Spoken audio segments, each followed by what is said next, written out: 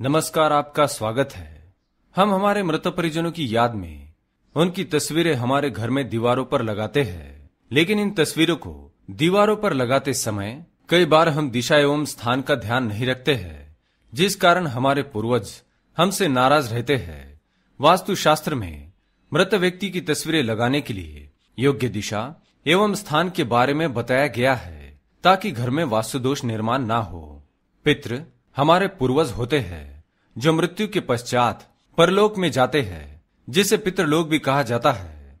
हमारे परिजन, जैसे हमारे पिता, दादा, परदादा, और इसी तरह हमारी माँ, दादी, परदादी इत्यादि हमारे पितृ है। ऋग्वेद के अनुसार पहला मृत व्यक्ति यम है, जिसका वास पितृलोक में है, और वही पितरों के राजा भी है, और हमारे सभी मृत परिजन पितृलोक में वास करते हैं। आज के इस वीडियो में हम जानेंगे, हमारे पितरों की पूजा कैसे करनी चाहिए और हमारे पूर्वजों की तस्वीरें घर में किस स्थान पर लगानी चाहिए। तो चलिए बिना देरी किए जान लेते हैं। पर उससे पहले अगर आपने चैनल को सब्सक्राइब नहीं किया है तो इसे सब्सक्राइब कर लीजिए, साथ ही वीडियो को लाइक करना ना भूले। पहली बात, भाद्रपद महीने के कृष्ण पक्ष के पंद्रह दिनों को पितृपक्ष कहा जाता है। ऐसी मान्यता है कि पितृपक्ष में पितर अपने परिवार के साथ रहने के लिए पितृलोक से धरती पर आते हैं।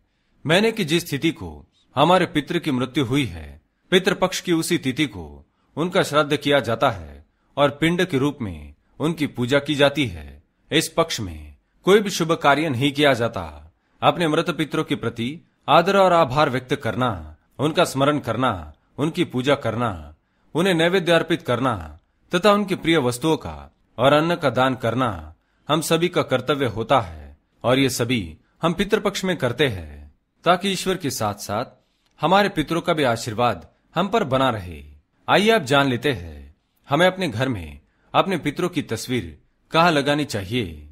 हमें हमारे घर में मृत परिजनों की तस्वीर अवश्य ही लगानी चाहिए, ताकि वे सदैव ही हमारे घर में और हमारे मन में वास कर सके और उनका आशीर्वाद हमें सदैव ही प्राप्त हो सके। सबसे पहले आपको इन बातों का ध्यान रखना चाहिए कि जिस मृत व्यक्ति की फ़ोटो आप अपने घर में लगाने जा रहे हैं, वह अब आपके बीच में नहीं है, और न ही वह भगवान है। आपको ना ही उनकी फ़ोटो के सामने अपनी कोई इच्छा, दुख, क्रोध जैसी भावनाएँ व्यक्त करनी चाहिए, और न ही भगवान की तरह उनकी पूजा करनी चाहिए। केवल श्राद्ध के दिन और पितृपक्ष में ही उनकी पूजा करनी चाहिए। कई घरों में यह देखने को मिलता है कि लोग अपने पूर्वजों अथवा बुज़ुर्गों के चित्र, पूजा घर में भगवान के चित्र अथवा प्रतिमा के समक्ष लगाते हैं, जो किसी भी तरह से ठीक नहीं है। इसका अर्थ हम ऐसे समझ सकते हैं कि चाहे कितना ही बड़ा महापुरुष क्यों न हो, वह कभी भी भगवान की बराबरी नहीं कर सकता। मनुष्य मृत्यु के बाद पंच तत्वों में विलीन हो जाता है, जबकि ईश्वर का अस्तित्व अजर एवं अमर है। यही कारण है कि भगवान और मनुष्य बराबर नहीं हो सकते। यह अलग बात है कि पूर्वजों के लिए हर मनुष्य के मन में अटूट श्रद्धा और आदर का भाव होता है। इसलिए घर में पूर्वजों के चित्र लगाए जाने चाहिए, लेकिन इन्हें भगवान के कक्ष के निकट नहीं लगाना चाहिए। तीसरी बात, परिवार के किसी ऐसे व्यक्ति की फ़ोटो दीवार पर ना लगाए, जिसकी आकार मृत्यु यानी बचपन में, या जवानी में मृत्यु हुई हो, अपघात, यानी दुर्घटना में मृत्यु हुई हो, या फिर उस व्यक्ति ने आत्महत्या की हो। ऐसे व्यक्ति की फ़ोटो दीवारों पर टांगनी नहीं चाहिए। चौथी बात, शयन कक्ष में और रसोई घर में पितरों की तस्वीरें नहीं लगानी चाहिए। पांचवी बात, कभी भी मृत व्यक्ति की फ़ोटो के साथ, जीवित व्यक्ति की फ़ोटो नहीं लगानी चाहिए, और न ही एक साथ, बहुत सारे पितरों की फ़ोटो एक ही दीवार पर लगानी चाहिए। इसे अशुभ माना गया है।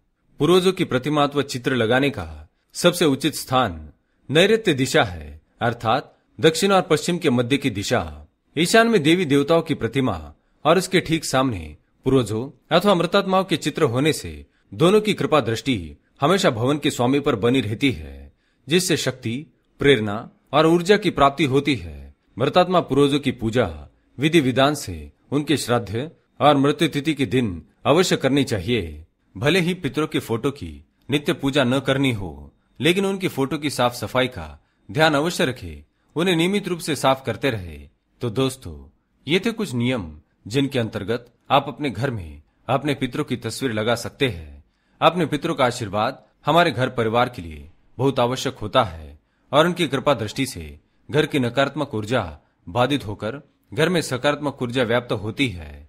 इसलिए अपने पितरों का आदर और सम्मान सहित उनकी मृत्यु तिथि पर तथा पितृपक्ष में उनका श्राद्ध ज़रूर करें। उम्मीद है ये जानकारी आपको अच्छी लगी होगी। वीडियो पसंद आए तो लाइक करें। कमेंट में जय श्री कृष्ण, जय पितृदेव अवश्य लिखे। धन्यवाद।